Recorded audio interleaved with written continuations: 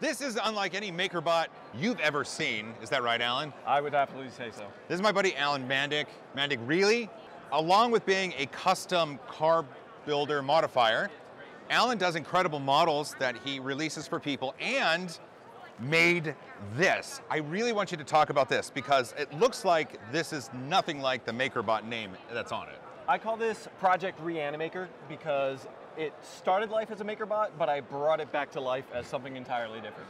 This is a custom designed Core XY machine that I just used the frame, the rails, the bed assembly of an original MakerBot replicator. Uh, kit, you know, would have sold for $2,000 10 years ago. Back in the day. Yeah, back in the day was what you had. And I just gutted it out and designed something totally different. I figured everybody's going to be bringing Vorons to this show, so It's true. I, I wanted to bring something a little bit different. I could have brought one of my Vorons, but it's been catching a lot more attention than I think one of those would have. It's very unique in what it's presenting because, like the Reanimaker name says, you're, you're taking an older frame and some of the movement bits, but you know, updating it for current standards. So like you said, it's a Core XY custom design machine mm-hmm. that you designed, right? Yep. Just like a week ago. Yeah, yeah. Uh, it- every printed part on this is my own design and construction. I designed it all from scratch. Because of the open source nature of the original replicator, I was able to find the original CAD file for the replicator. For this? For the replicator, and build off of that for what I wanted.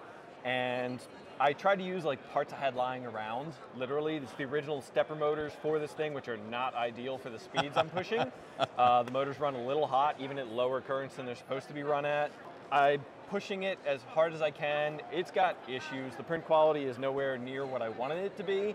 But in the same regard, I got this thing printing for the first time two days ago at midnight in my hotel room. So I think I'm doing okay. That's the, that's the con crunch right there. It is. Cosplayers have it, 3D printing people have it too. Yep. Okay, so the Reanimaker, this new class of resurrected 3D printing machine, what are the stats? What's the build volume here? What's the nozzle temperature go to? Like, what's the print speeds? Let's talk about it. Okay, we're running the new Drop Effect XG hot end in this thing. Just released this week. I've had it for a couple months, I think, actually, but so tiny. it's a little tooty thing and really lightweight. The entire carriage assembly, the entire tool head on this thing is weighing in just five grams more than one of the original stepper motors from the replicator did, and it was a dual extrusion system.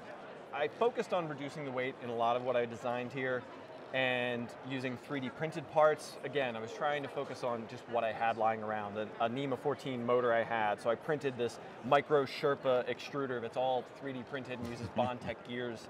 But a lot of it was I didn't want to spend another thousand dollars on a printer, and also just using parts I had lying around. Uh, it's got a Big Tree Tech SKR3 mainboard in it, running Klipper firmware off of a Raspberry Pi that lives in that little TV screen over there. No way. Yeah. This is the Raspberry Pi. Yeah, it's glued down, but Okay. uh, I was about ready to just reduce the glue to nothing, and yeah. okay, but I want to look at it. Look at that! Oh, that's fantastic. with the whole Reanimaker, I was kind of thinking of the Reanimator movie from I- I- back in the 80s. I figured, yeah. And so I wanted, I've got the wood frame. I thought about it, I probably should have put like some uh, wood paneling inside of the box. But I went for the tube TV look. The Raspberry Pi is in there with a Big Tree Tech touchscreen running this whole machine, just trying to finish out the aesthetic of the build. You know what's really cool about this, and what I what just brings me such joy is in the the Reanimaker name and the process of using something old, but it's not like you're custom building a really small machine, 3, 3D printing small parts for. You said this is the area I get to work with, and you custom design parts to take advantage of it. Plus, in the future, if this is something that you want to upgrade or or or go further with, like you can replace motors, you can replace guides and rails, and you have the option of really like taking it full send. Oh yeah. I, I have no idea what the future of this project is at this point. It was, uh, I don't want to say passion project, but a just what can I do? What can I create with this thing? You mentioned I was a custom car builder before. A lot of what I did in that world is what we called resto mods, where we would take a 69 Camaro and put a 2012 Camaro engine in it. Oh, okay. It's like doing an EV update to an older rig exactly. sort of thing. A lot of people love the old cars, but they don't love the way they drive. It's a it's a, a nice fuzzy memory that they forget drum brakes all the way around really didn't stop. so this is kind of the concept I brought to this thing of a Resto Mod 3D printer, where take this vintage printer and upgrade it to a modern machine. It's a, a wooden box that prints like a Voron. So Tries to print like a Voron. Tries to You said print quality isn't quite there. it's got the speed, but the quality's not quite there. Okay. But I'm getting resonance. I'm thinking maybe I need to put some uh, like drylin bushings in instead of the bearings. There you go. So I haven't 100% decided. For all I know, it's going to go home, sit on the shelf until I decide to rebuild it into the next stage of its life. But Reanimaker 2. Reanimaker 2, the sequel. It will scare you to pieces. Well, if people out there want to know more about it, are you going to publish anything about this on like GitHub or a I'm- blog or I'm, TikTok? prob- I'm probably going to end up putting out a all the files from this design, this project. I've had people asking if I want to open source the project. My problem is supporting it.